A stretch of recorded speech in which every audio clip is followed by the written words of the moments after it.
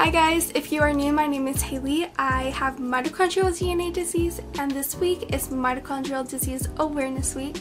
And today I'm going to be talking about what exactly it is, but before I get into that, I wanted to share that there will be some awesome videos coming this week.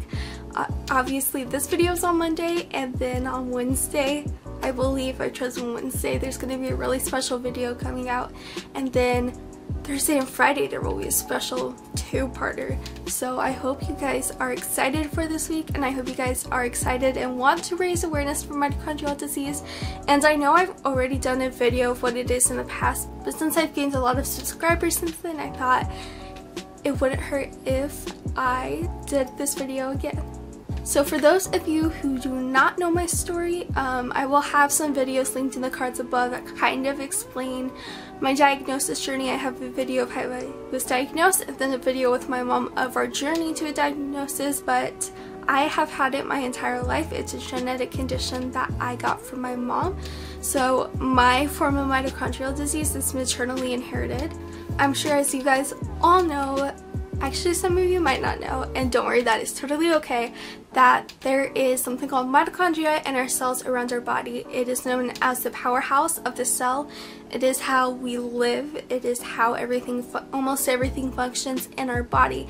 It accounts for 90% of all body functions and the parts of the body such as the brain, heart, muscles, and lungs require the greatest energy resources. I can't think of the correct term, but require kind of the most energy, and those are some of the systems that are typically affected. And I'm going to get back into what exactly it is, um, but it is when the mitochondria in our cells around our bodies doesn't produce enough mitochondria energy to function. So if you picture a cell phone at 15%, no matter how much you charge it, no matter what you try to do, whether you try to put it in rice, try to get it fixed, no matter what you do, how long you plug it for, it stays at 15% and when you use it, it goes down even more and it will only ever go up to 15%. That's my body. My body and every mitochondrial disease patient's body is like running a household on a single battery. So I know here I seem energetic and I seem all bubbly, but guys, internally I am exhausted and fatigued and it's really it's a really hard condition to have because it is the mitochondria is responsible for so much. When it malfunctions, it affects so much of your body. Now, people can have mild to severe symptoms. People can have mild to severe symptoms. Every mitochondrial disease patient is completely different and there are actually multiple and multiple forms of mitochondrial disease. There are so many. I will link a link in the description box of the list of all of them. It's a really long list, but um, genetic mutations is what determines what form of mitochondrial disease you have. And that's when you have a change in a gene. So it's kind of like a mistake, and not everybody has gene mutations. Typically only those who have conditions like I do, like mito patients do. So that's how we're how doctors and geneticists are typically able to find out what form it is. That's kind of how they do and there's, like I said, there's so many. I'll highlight a few. There's complex 1, 2, 3, 4, and 5. You can have one or you can have several of those, I believe. Correct me if I'm wrong. There's Blaze syndrome and there are so many other forms of mitochondrial disease and each one is completely different on how it affects somebody. Not one patient is the same ever. And for me, I actually don't fall under any of the forms of mitochondrial diseases from that list at all. A variant on one of my gene mutations that only I and my mom have in the entire world as of 2013 is unknown. So we don't know which way my body will go, which way I will where I will end up in life because a lot of times with already discovered and known about forms of mito there are there's at least some estimates on what might be affected in the near future. But for me we don't know. I'm a wild wild card and my body has been extremely complicated. Now I'm going to kind of get more into the symptoms but I think it's really important to highlight that mitochondrial disease is almost never alone. what I mean by that is that mitochondrial disease can cause several other conditions and that is my body. I have 10 other conditions besides mitochondrial disease that affect almost every single system in my body.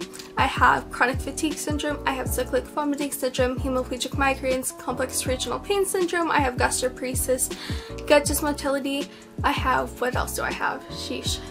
Oh, and I can't believe I just forgot two of the most important, one of, two of the biggest conditions that I struggle with, which is dysautonomia and POTS. And I'm not going to go into all of those exactly um, just because there's not enough time in the world to go into all of that, but I do have a video that I made of all my chronic illnesses and I talked about them all and so if you want to go check that out, it will be linked either down below or up in the cards one or the other and you can go watch it and see what exactly I struggle with. And I'm really sorry if I'm confusing you guys, I'm trying my hardest, but when you know as much as I do, it's hard to kind of get it all into words. So there are other conditions that are caused by mito. There are also conditions which cause mito and like I said, I'm not going to get into that because it is totally way like not even in the near subject of this video. But the symptoms mito patients have or symptoms that medical patients have had that have led to the thought of mitochondrial disease or the diagnosis of mitochondrial disease. I thought I would read some of those symptoms and I know I did say that it causes other conditions but the symptoms I'm about to read to you still fall under mitochondrial disease. They might be a part of another condition caused by mito but they're all symptoms. So pretty much everything possible, but I'm going to read a list because there are way too many to remember them all. So there are developmental delays, which I had you can have dementia, neuropsychiatric disturbances, weakness, I have near nerves, neuropathic pain, and your muscles weakness, cramping, and gastrointestinal problems. I'm just going to raise my hand for everyone I've dealt with. For your kidneys, renal tube tubular acidosis or wasting. Then in your heart it can be cardiac conduction defects, which is, for example, heart blocks, cardiomyopathy, you can also have irritable bowel syndrome, which I have, diarrhea or constipation, pseudo obstruction, I believe that's how you pronounce it. You can have hypotonia, dysmotility, which I have got dysmotility. You can have hypoglycemia, which is low blood sugar. You can have liver failure, and in your ears and eyes, you can have visual loss and blindness, ptosis, hearing loss, optic, optic atrophy, deafness, acquired strabismus, retinitis pigmentosa. Guys, I'm so sorry. Some of these words are so big. You can also have diabetes, exocrine pancreatic failure. You can have parathyroid, parathyroid failure, failure to gain weight, fatigue, unexplained vomiting, short stature, respiratory problems, and the list goes on and on and on. And like I said, it affects every single part of your body, every single organ, every single system. So for example, my heart is affected, my brain is affected, my stomach and gut are majorly infected, infected, no, affected.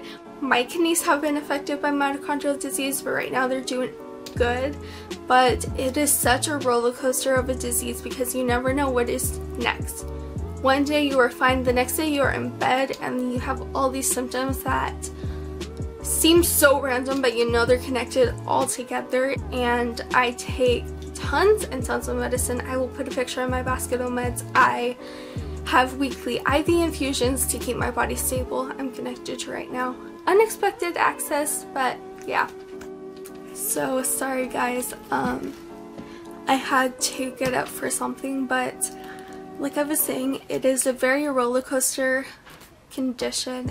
Not one day is the same, and my video coming out, well my video is coming out Thursday and Friday, or a week in the life, so you get to see the days where I have good days but also the days where I have really hard difficult days. So in conclusion of this video, mitochondrial disease is deadly and I forgot to mention that towards the beginning of the video but a lot of times it is unfortunately fatal and it's a progressive and degenerative condition, meaning you never get better over time, you only get worse. And I'm sure there are some patients who have had different experiences, but Um, it's really difficult. There's no cure and like I said you get worse over time and I have gotten worse over time but you know what guys I am so glad I'm here and I'm so glad I'm here to share this. But I hope you guys enjoy this video. If you have any questions down below, please comment them. Anything about Mito. You can also DM me any questions you have on Instagram. The link is in the description box.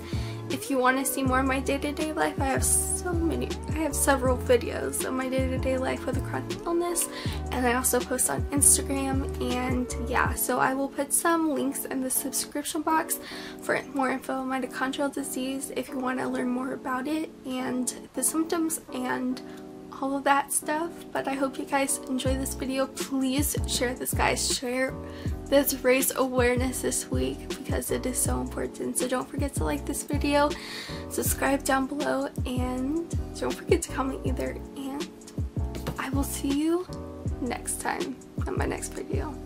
And now I'm going to go lay in bed for the rest of the night.